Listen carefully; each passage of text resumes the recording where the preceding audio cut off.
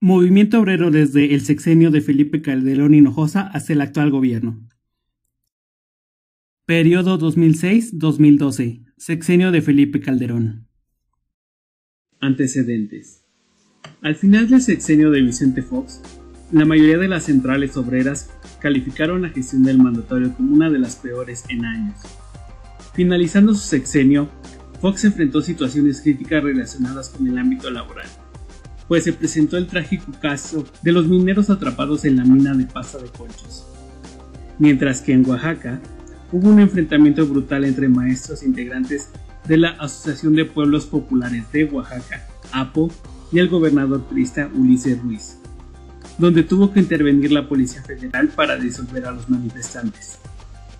Es en este contexto que el candidato panista Felipe Calderón decide emprender una costosa campaña electoral, con el eslogan Presidente del Empleo. Calderón es la neta. Dando a entender que su gobierno se basaría en apoyos a los trabajadores y en crear nuevas oportunidades en el campo laboral. Tras la elección cerrada y con mucha polémica por los resultados, Felipe Calderón toma protesta como presidente de México el 1 de diciembre de 2006.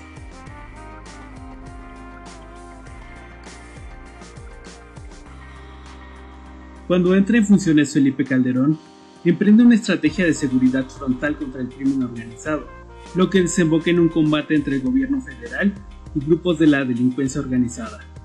A la par de estos acontecimientos, el llamado presidente del empleo manda una iniciativa para reformar la ley del ISTE, donde se introduce el requisito de edad de 65 años para jubilación de cada trabajador. Y también estipula pasar de un sistema solidario a cuentas individuales administradas por las AFORES y que continuará con base en el ahorro. Ejemplificando lo anterior, una o un trabajador que ganaba 10 mil pesos se jubilará con 6.400. Las respuestas nos hicieron esperar y miles de trabajadores salieron a las calles a protestar contra esta reforma y sus consecuencias. Pese a las protestas, Calderón junto con el Congreso y la validación del entonces director del DISTE, Miguel Ángel Yunes Linares, se avala dicha reforma y posteriormente se publica en el Diario Oficial de la Federación el 31 de marzo de 2007.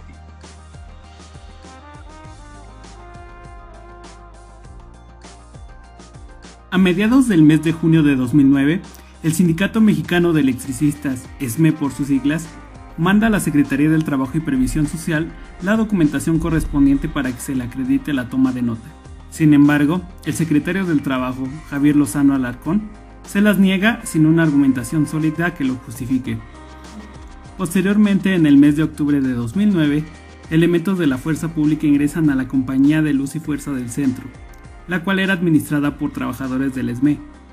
Al tiempo de lo ocurrido, el llamado presidente del empleo, Felipe Calderón, realiza un anuncio a nivel nacional donde declara extinta a dicha compañía de suministro de electricidad, por lo cual deja sin empleo a más de 40.000 trabajadores de la misma. En sentido estricto de derecho, Calderón cometió un acto ilegal, pues primero desapareció a la compañía y posteriormente expidió el decreto de su extinción. Además, según lo estipulado por la Constitución, primero tenía que consultar al Congreso y después realizar el decreto, por lo cual sería una situación claramente violatoria a la ley. Tras la extinción de Luz y Fuerza, el sindicato electricista no se quedaría de brazos cruzados y empezaría a realizar movilizaciones masivas, plantones y marchas de protesta contra el gobierno de Calderón. Su lucha por la restitución de Luz y Fuerza traspasó el sexenio calderonista, pues los electricistas seguirían protestando incluso en el gobierno de Peña Nieto. Sería este gobierno, el de Peña Nieto, quien recibiría los reclamos de los electricistas, pues gracias a la reforma energética de 2013, es en el año 2015 que se crearía la generadora Fénix, la cual sería una asociación entre la extranjera Mota Engil y el Sindicato Mexicano de Electricistas. Posteriormente, en el sexenio de López Obrador, la Secretaría de Hacienda entregaría al ESME inmuebles en los municipios de Lerma, Nicolás Romero y Villa Nicolás Romero.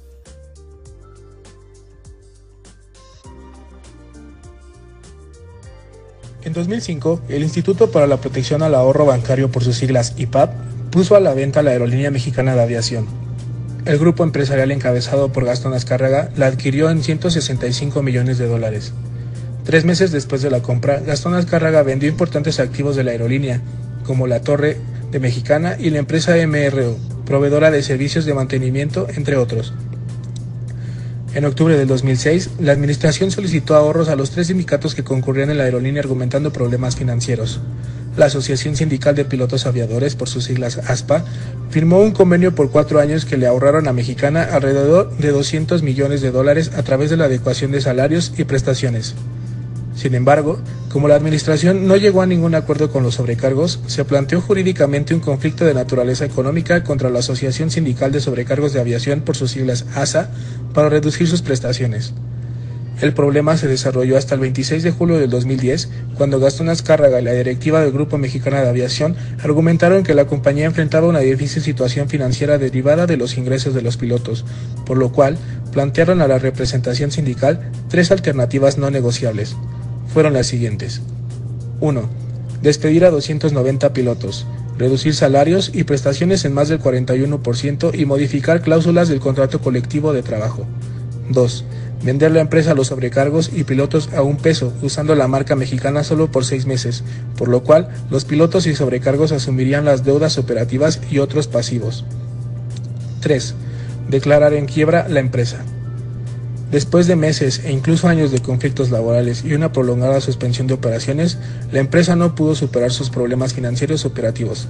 La falta de una solución viable para reactivar la aerolínea llevó a su quiebra, por lo cual todo el grupo sindical y los trabajadores de la Mexicana de Aviación, incluyendo pilotos y sobrecargos, llegaron a una huelga que desató un problema en el año 2011.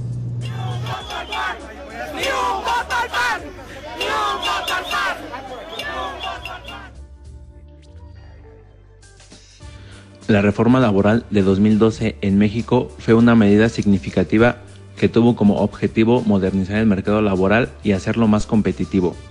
La reforma introdujo medidas para permitir a las empresas mayor flexibilidad en la contratación y despido de personal, lo que facilitó la adaptación a las necesidades del mercado laboral, así como establecer mecanismos para garantizar la transparencia en las elecciones de líderes sindicales y en la administración de los recursos de los sindicatos, con el fin de promover la democracia interna en las organizaciones sindicales. Dicha reforma fortaleció los derechos de los trabajadores, garantizó la igualdad de género en el ámbito laboral, promoviendo la inclusión de personas con discapacidad y protegiendo a los trabajadores migrantes. Prueba de esto es que se buscó establecer disposiciones para regular los contratos por tiempo determinado, en cuanto a las condiciones laborales y salariales. Es factible afirmar entonces que los grandes ejes de la denominada reforma laboral son Evitar la discriminación laboral. La creación de nuevos tipos de contrato laboral, como lo son contrato a prueba por capacitación y por temporada. Una mayor flexibilización en las relaciones laborales. Mejorar el acceso al denominado mercado laboral.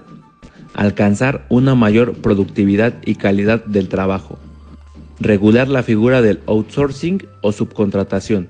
Establecer las figuras jurídicas del hostigamiento sexual, el mobbing y acoso laboral, crear dos nuevas causales de despido, topar el monto de los salarios vencidos en los litigios laborales, privilegiar la mediación y la conciliación en la solución de conflictos laborales y establecer al fin un procedimiento sumario en materia de asuntos de seguridad social. En general, la reforma laboral de 2012 tuvo como objetivo principal mejorar las condiciones laborales, promover la formalidad en el empleo y aumentar la competitividad en el mercado laboral mexicano. Sin embargo, también generó cierta controversia y críticas por parte de algunos sectores sindicales y laborales. Periodo 2012-2018. Sexenio de Enrique Peña Nieto.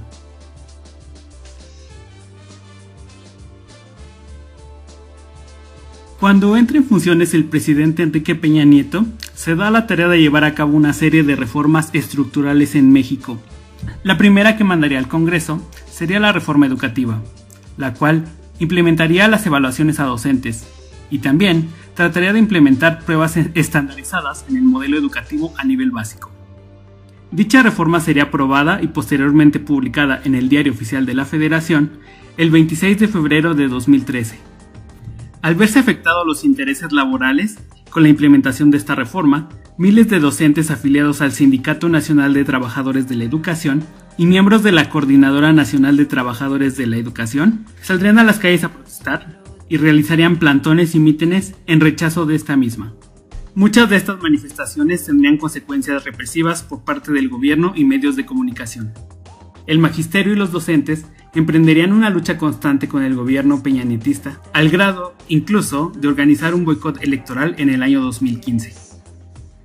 Cuando asume la presidencia Andrés Manuel López Obrador, el 17 de abril de 2019 manda un decreto por el cual se invalidaría la reforma educativa peñanetista, dándole así certeza jurídica a los docentes que habían estado en lucha constante contra el gobierno.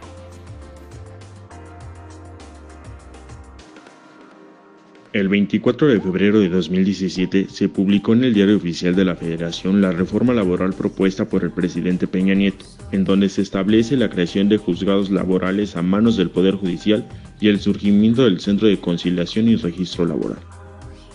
Este centro reemplazó las juntas de conciliación y arbitraje, tanto locales como federales. Su función principal es el registro de contratos colectivos de trabajo y el registro de los sindicatos. La reforma laboral estableció cinco objetivos. 1. Favorecer el acceso al mercado laboral y la creación de empleos. 2. La transparencia y democracia sindical. 3. Mayores facultades de vigilancia a las autoridades del trabajo. 4. Fortalecer la equidad de género, inclusión y no discriminación en las relaciones laborales. 5. Modernizar la justicia laboral. El presidente Peña Nieto, en un informe en 2017, dijo que el 96.7% de la población económicamente activa tenía empleo y solo el 3.3% estaba desempleada. Pero realmente las condiciones laborales no eran las mejores, ya que los trabajadores ganaban un salario mínimo de 73.04 pesos. El 28% de los trabajadores trabajó más de 48 horas semanales en el mismo año, y el 62.42% de los trabajadores no estaban afiliados a una institución de salud.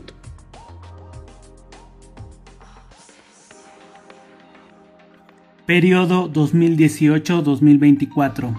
Sexenio de Andrés Manuel López Obrador.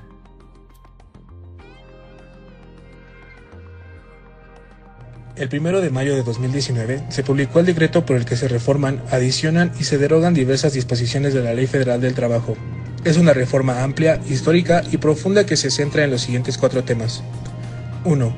Libertad y democracia sindical. Se garantiza el derecho de libre afiliación, la autonomía de los sindicatos y la prohibición de todo acto de injerencia en su vida interna.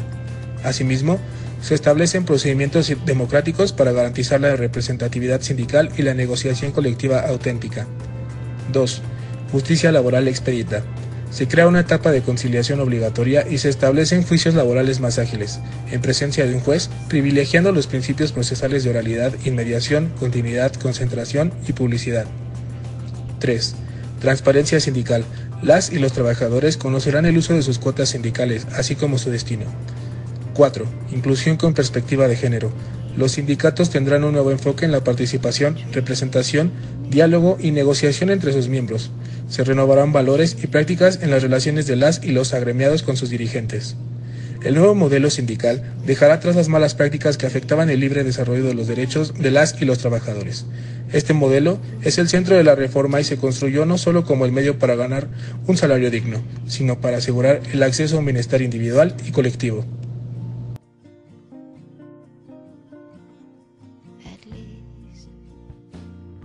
La Agencia de Noticias del Estado de México se creó el 20 de agosto de 1968 con motivo de la celebración de los Juegos Olímpicos que se realizaron ese mismo año en la Ciudad de México.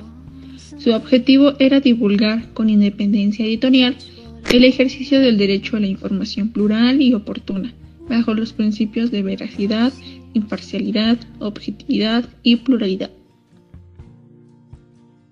En 2018, con la entrada del nuevo gobierno, se nombró a San Juana Martínez como directora del Notimex.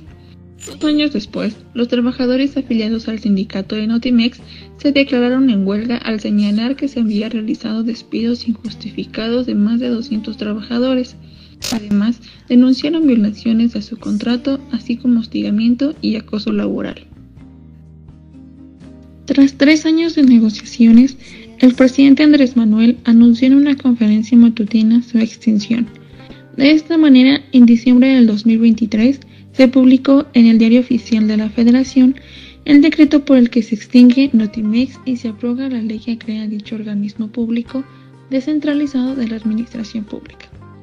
El Instituto para devolverle al pueblo lo robado fue el responsable de liquidar a los trabajadores de Notimex. Una vez liquidados, se levantó la huelga. El sindicato reconoció que su objetivo era defender su fuente de trabajo y no el cierre de la agencia.